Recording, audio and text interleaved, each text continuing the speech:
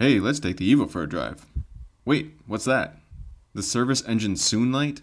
AKA check engine light? AKA idiot light?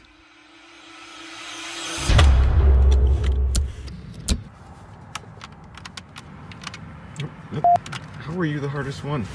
Hmm. P0171, system too lean. Wonder what's causing that. Let's take a look under the hood. Well, that mass airflow sensor plugin looks like garbage. That could be it.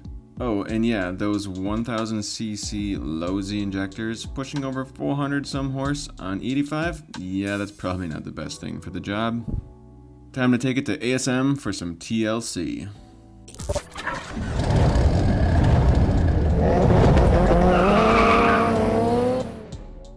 So we will be swapping out my old PTE, or Precision Turbo Engineering, 1000cc low Z injectors for a set of new FIC, or Fuel Injector Clinic, 1200cc high Z injectors. Yeah, that's a mouthful when you say all those acronyms out loud. Uh, so this won't be a full how-to video since I didn't actually do this job myself, but this video should provide a few tips if you plan to swap out injectors in your Evo 8 or Evo 9. And first you might be saying, well, what is low Z versus high Z? How do I tell the difference? Which is better? Well, let's cover that now. So the low Z, or low impedance injectors, are an older style of injector, more of a short and fat looking injector. High Z, or high impedance injectors, are a newer technology and look more tall and skinny. And if you really want more details on the differences on how they operate, you're gonna have to do a bit more research online to find that. I'm not gonna go into all the details in this video.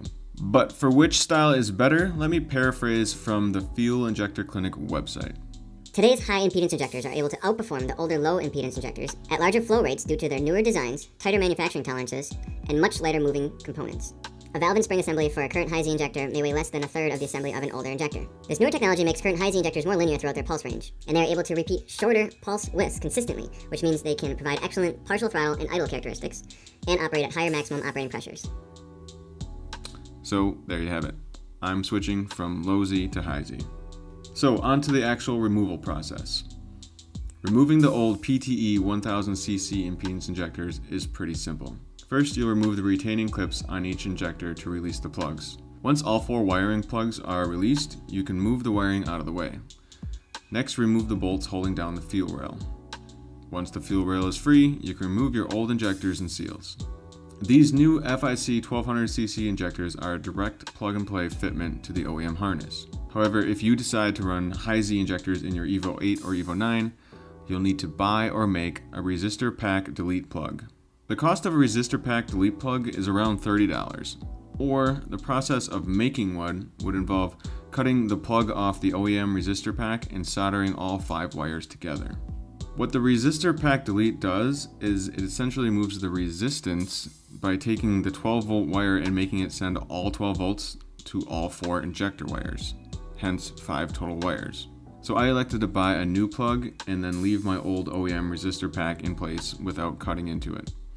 That way if I ever need to go back to low Z injectors in a pinch, I could still make them work. Another reason I made the switch to these 1200cc injectors is because of injector duty cycle. Injector duty cycle, or IDC, is a ratio between the pulse width required for a proper air to fuel ratio and the length of time you have to inject that amount of fuel so injector duty cycle will be represented as a percentage. And in the datasheet provided with my new injectors from FIC, they recommend not exceeding a 90% injector duty cycle. Now my old 1000cc low Z injectors were close to being maxed out, so that's close to 100%. And sizing up to these 1200cc injectors should get me near or below that 90% IDC. So on to the install process.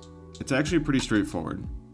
A helpful tip is to put a little bit of oil onto the new seals so they slide in easily and don't roll off the injector. Then place all four injectors into your fuel rail first. Set it down as an assembly, lining up each injector into the intake manifold. Next, move your wiring harness back in place and plug in each injector and reinstall the retaining clips. And finally, don't forget to tighten down your fuel rail bolts. So that was it for the injector swap. Next on my list was changing out the mass airflow sensor plugin. I purchased a used plug-in a while ago when I noticed how bad mine looked, but since the car was still running fine, it took me some extra motivation to actually get it fixed. Andy at ASM has plenty of rewiring experience and all the proper tools, so it seemed like a good time to let him get the job done. Once the new injectors were installed and the mass airflow sensor plug-in was rewired, Andy changed the injector scaling to match the larger injectors, and then the Evo was moved onto Andy's all-wheel drive dyno. This again is where I let the professionals do their work as I try to learn what I can along the way. I filmed a couple dyno pulls using my cell phone on a gimbal for stability, but the noise and the vibrations of the dyno really messed with the gimbal stabilization. Check it out.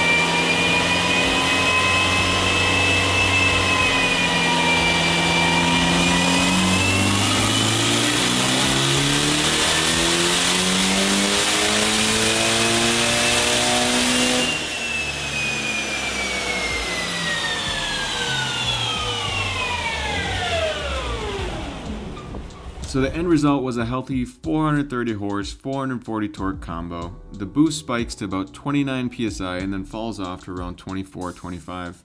This stock Evo 9 turbo is certainly a limiting factor of the power of my current setup, but I really do love the power band this whole setup provides. Doing these small changes today to the Evo did not actually change much when it comes to dyno numbers.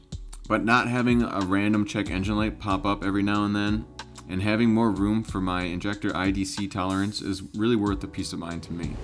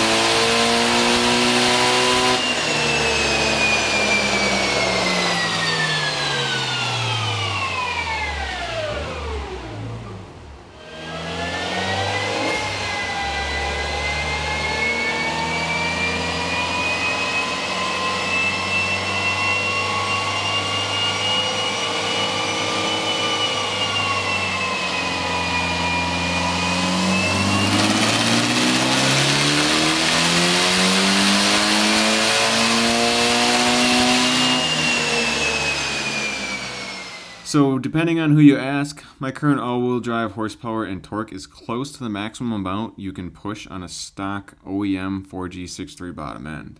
And I don't plan on getting a built block bottom end anytime soon. But of course, that doesn't mean I'm not always a little tempted now and then just to throw on a bigger turbo. The idea, the ideal curve would be to try to keep this torque flat. see where it starts falling. From Yeah. here on, I'd ramp in more duty to try to keep that torque as Up. flat as possible. Yeah. And then the horsepower will climb from there. I don't know what the AFR was last time, but more ethanol is going to run leaner. So knowing that this is E70, that you might get E85, we're running it at 11.4, 11.3. You can run them up to about a 12.0 AFR. So as you get more ethanol, this is going to get a little leaner. So it should make a little more power. That was about 28, 29 PSI. How much more? If the boost isn't holding. I'm asking for a lot more up here and it's, it's just nothing. So you got an FP turbo we can put on there what? Yeah, need a bigger turbo. That's why the torque falls off so much. So that's it guys. Please check the comments or the video description for any updates on what I may have said wrong in this video or what I have learned since making it. And as always, this is Paul from Boosted Films saying thanks so much for watching.